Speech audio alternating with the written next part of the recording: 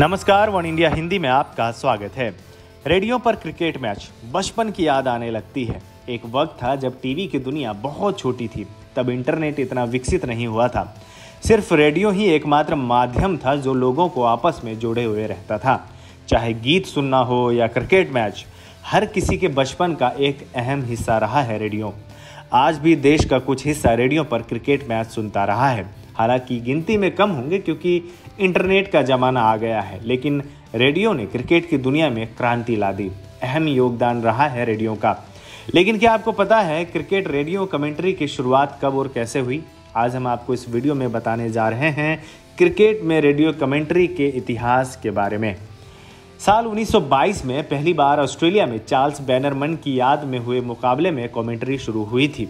Sydney cricket ground में हुए इस मुकाबले में लियोनल वॉट ने कमेंट्री की थी। इसके बाद साल 1927 में बीबीसी ने इंग्लैंड और वेल्स के बीच हुए रग्बी मुकाबले की कमेंट्री टेड्डी वकेम से करवाई थी, जबकि रेडियो कमेंट्री का पहला प्रसारण 11 जून 1927 को इंग्लैंड के लॉर्ड्स में किया गया था।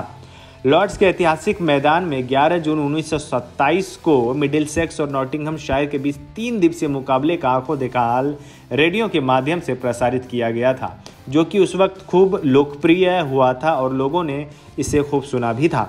वहीं इंग्लैंड के पूर्व क्रिकेटर पेल्म वार्नर दुनिया के पहले रेडियो कमेंटेटर बने थे। हालाँकि कई जगह पादरी गिलिंगहैम को रेडियो का पहला कमेंटेटर माना जाता है। गेंद दर गेंद कमेंट्री रेडियो पर साल 1938 में शुरू हुई थी। बीबीसी की ये पहली क्रिकेट कमेंट्री थी जो कि चार हिस्सों में बटी थी। गिलिंगहैम लगभग आधा घंटा माइक्रोफोन पर कमेंट्री करने में सफल रहे थे। हालाँकि इसके बाद बीबीसी को खूब आलोचना भी झेलनी पड़ी थी। क्रिकेट कमेंट्री करने के बीबीसी के इस फैसले पर उस वक्त डेली हेरल्ड ने यह कहते हुए बीबीसी का मज़ाक उड़ाया था कि आने वाले दिनों में वे शतरंज और बिलियर्ड्स की कमेंट्री करना शुरू ना कर दे। बावजूद इसके ऑस्ट्रेलिया में बीबीसी को बखूबी साथ मिला और फ़ेमस होता चला गया। दूसरी ओर अगर भारत में रेडियो कमेंट्री की मैं बात करूँ तो साल 1950 के अंत तक इसकी शुरुआत हो चुकी थी। रवि चतुर्वेदी और जसदेव सिंह 60 और 70 के दशक में बतौर कमेंटेटर अपनी पहचान बना चुके थे। बाद में मनीष देव, सुशील दोषी भी आए, जिन्होंने रेडियो क्रिकेट कमेंट्री में अपनी पहचान बनाए।